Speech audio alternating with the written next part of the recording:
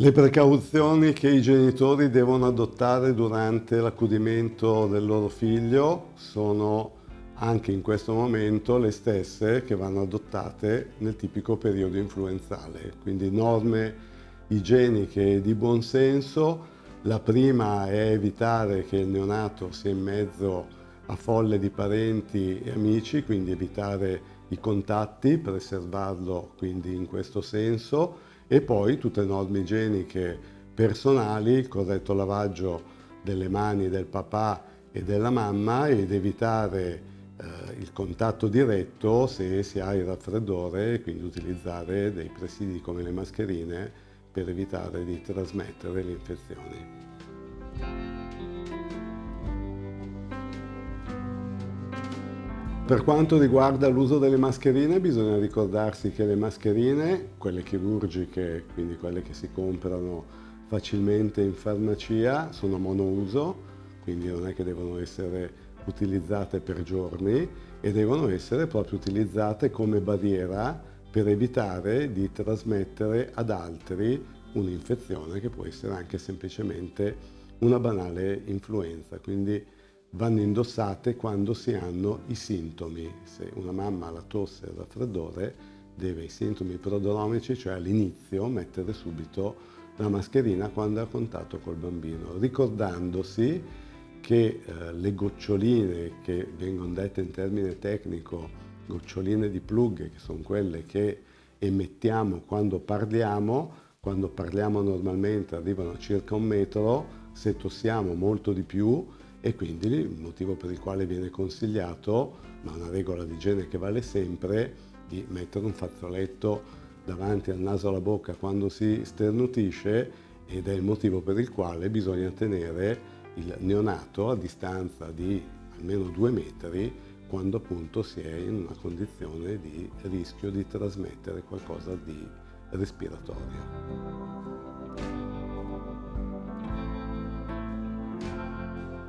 Una mamma che eh, al momento del parto è conosciuta essere positiva per il virus, il coronavirus, eh, può allattare al seno con delle precauzioni che sono rafforzate. Eh, dobbiamo distinguere due situazioni. Una situazione in cui la mamma è positiva ma è poco sintomatica o è nella fase di guarigione o comunque una mamma che sta bene, quindi che non ha tosse, che non ha raffreddore, che non ha febbre. In questo caso le evidenze che ci sono, peraltro non molto forti, perché questa comunque è una malattia nuova,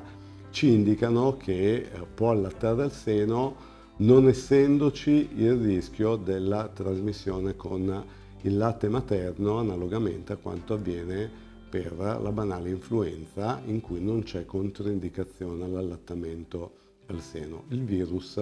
non sembra passare attraverso il latte materno. È evidente però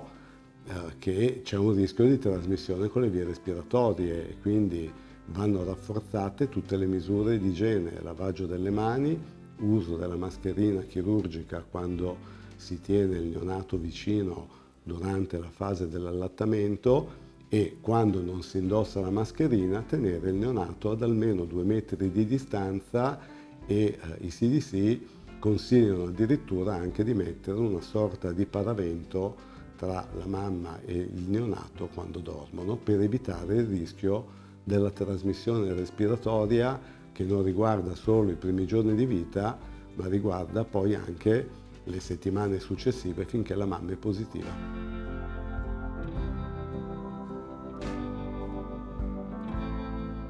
Il latte donato è un latte sicuro? La risposta è semplice, anche facile, un latte molto sicuro perché viene sottoposto a tutta una serie di esami prima addirittura, quindi le mamme che donano vengono sottoposte a tutta una serie di accertamenti e poi il latte viene opportunamente trattato con un processo di pastorizzazione che distrugge con assoluta sicurezza virus e batteri, peraltro eh, i pool di latte donato vengono successivamente alla pastorizzazione tutti controllati e quindi è un latte sicuro al 100%.